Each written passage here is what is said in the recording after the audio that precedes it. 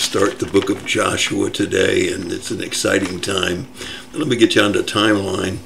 The Old Testament starts out, depending on how you date Genesis, either 10,000 or 4,000 years before Christ.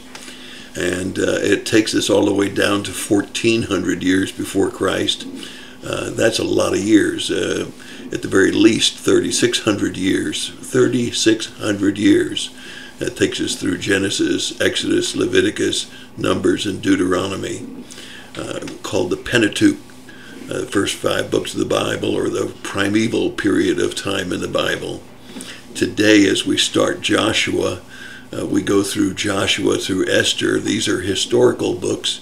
They take us from 1400 years before Christ down to 473 years before Christ, or approximately a thousand years. So, as compared to the 3,600 or 3,600 years that we have covered in the first of the uh, books of the Bible, we now are going to only cover a time period of less than a thousand years. More than that, as we start the book of Joshua, one of the 12 books of the historical books, we're going to be covering a time of only 15 years.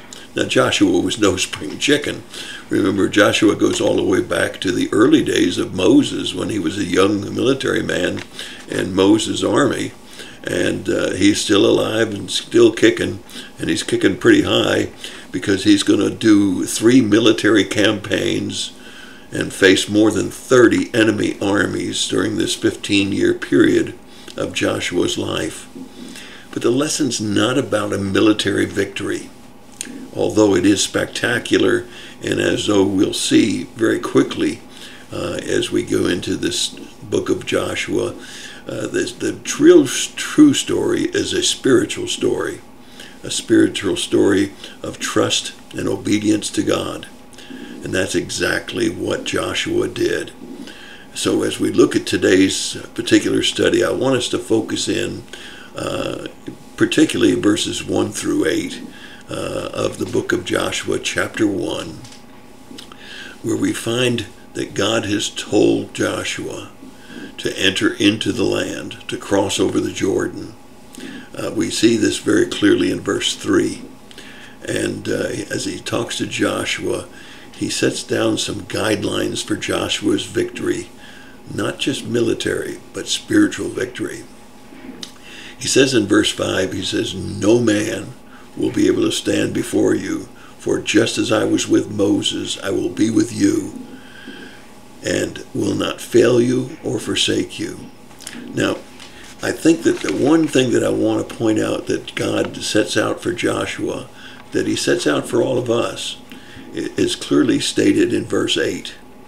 This book of the law shall not depart from your mouth, but you shall meditate on it day and night so that you may be careful to do according to all that is written in it.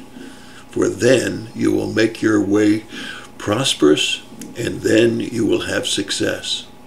So if you take the Bible instead of just the book of the law that Moses had, had given and that Joshua was now to follow, but if you would follow the Bible, God says to us, uh, don't let it depart from your mouth. Always be talking about it.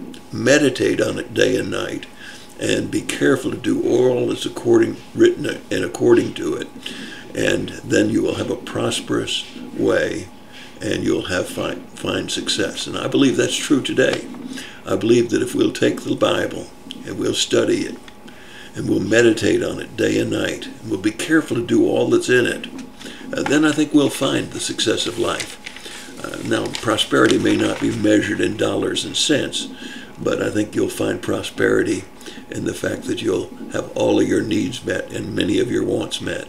There's one other phrase that I want to leave you with today. I think it's the most important phrase uh, that God gave to Joshua, and He gave it to him four times in the first chapter. Let me say that again. This phrase is found four times, in the first chapter of Joshua. Be strong and courageous. Be strong and courageous. We'll talk more about that tomorrow.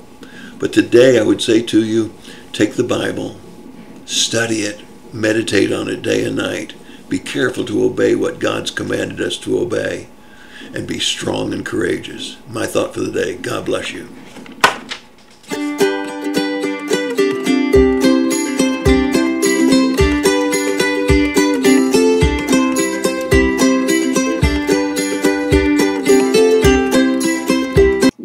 Well, how can you be sure you're going to heaven? My son said I should never end a message without telling people how they can be sure they're going to heaven. You can find it easily in just a few verses in the book of Romans. Romans 3:23 says all have sinned and fall short of the glory of God. Sin is anything that's displeasing to God. We all sin every day. By unclean thoughts, a quick answer to someone that's inappropriate, uh, whatever it might be, we all sin and we all fall short of the glory of God.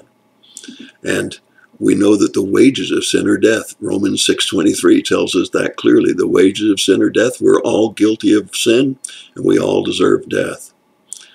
In Romans chapter 5 verse 8 it says God demonstrated his love for us that while we were yet sinners Christ died for us. That's it. That's that's exactly how God showed his love. He allowed us to see that Jesus Christ, God in the flesh, died for us and rose again to prove that he had the power over death. Now, watch this. How do we obtain this? It's one thing to know it. You can have it here in your head, but not down in your heart.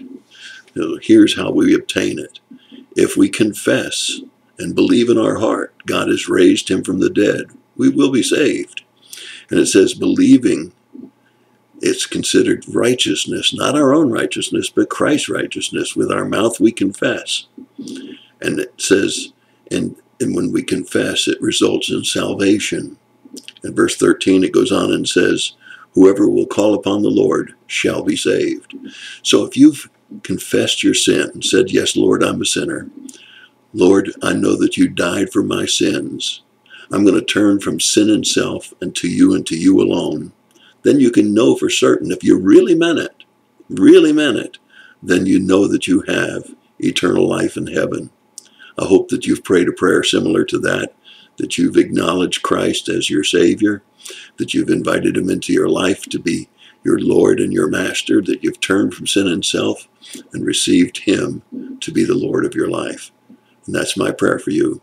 Remember, at the end of this clip, there's an opportunity for you to see the last lesson that we had, and also a clip that says how you can have peace in a broken world with the three circle illustration. It's a wonderful witnessing tool to share with others if they don't know Christ as Savior and to see how God fixed a broken world. God bless you and have a great day.